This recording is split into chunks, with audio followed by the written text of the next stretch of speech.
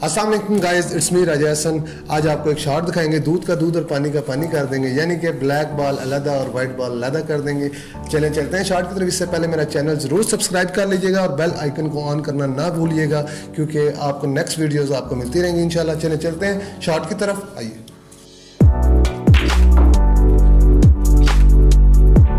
Guys یہ میرے پاس دو بال ہیں، دو وائٹ ہیں اور یہ دو بلیک بال ہیں۔ اب ان کو اس ترتیب سے لگانا ہے آپ نے کہ یہ دیکھیں۔ اور یہ ایسے بالکل ساتھ جڑے ہونے چاہیے بال ٹچ ہونے چاہیے، ان میں گیپ نہیں ہونا چاہیے۔ اور تقریباً چھ ایک انچ کا یا ایک فٹ کا آپ نے نا سائڈ پہ گیپ رکھنا ہے ادھر سے۔ اب چلتے ہیں شارٹ کی طرف۔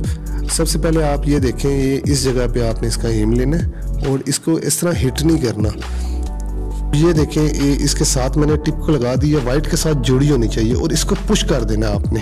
جب اس کو پش کریں گے نا، آٹو آپ کے دونوں وائٹ جو ہے نا بارڈر سے سائڈ پہ ہو جائیں گے اور دو بلیک آپ کے سیدھا پاٹ ہو جائیں اور یہ دیکھیں، اس طرح شارٹ کھیلنے کے بعد دودھ کا دودھ اور پانی کا پانی ہو گیا۔ یہ دیکھیں، دونوں بلیک بال سامنے سیدھا سامنے پاکٹ میں پاٹ ہو گیا